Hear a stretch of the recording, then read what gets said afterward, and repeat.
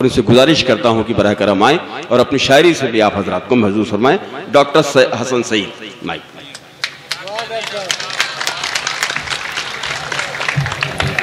السلام علیکم۔ بغیر کسی تمہید کے استاد محترم سے اجازت چاہتے ہوئے، بس یہاں سے عرض کیا گیا، استاد۔ بے گناہی نے میری ذہنوں پہ قبضہ کر لیا۔ بے گناہی نے میری ذہنوں پہ قبضہ کر لیا، میں نے اپنے قد کو اونچا اور اونچا کر لیا۔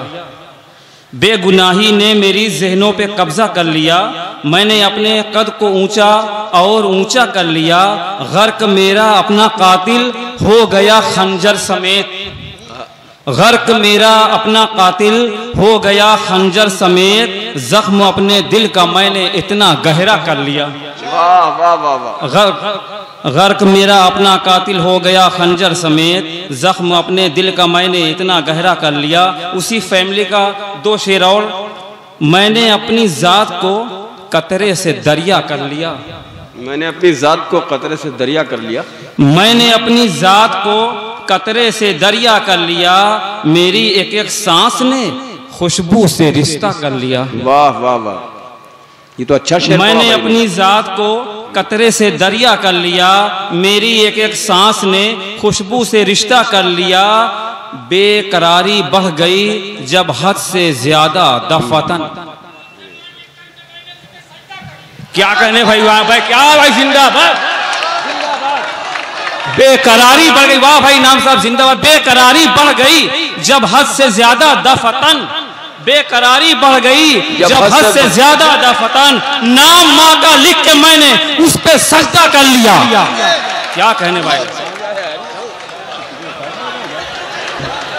بے قراری بڑھ گئی جب حد سے زیادہ دفتن واہ۔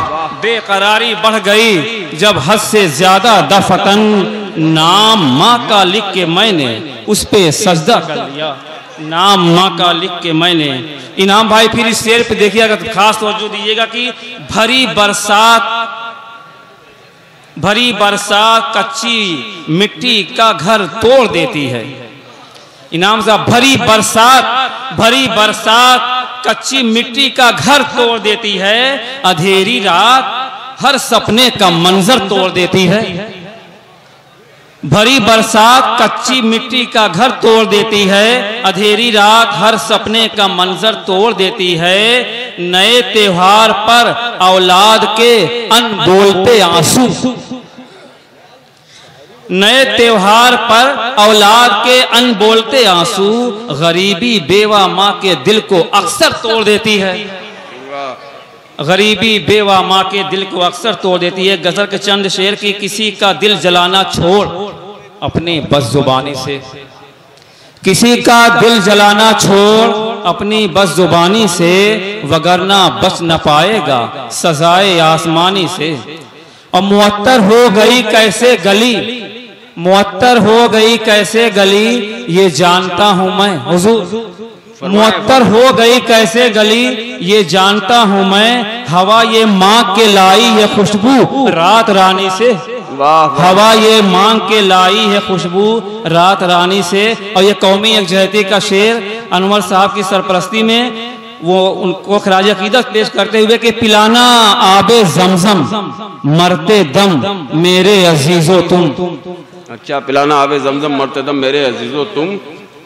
پلانا آب زمزم مرتے دم میرے عزیزو تم۔ دلانا غسل میرے جسم کو گنگا کے پانی سے بہت اچھا ہے واہ غسل میرے جسم کو گنگا کے پانی سے شجر خاموش شاخیں چپ پرندے سہمے رہتے ہیں۔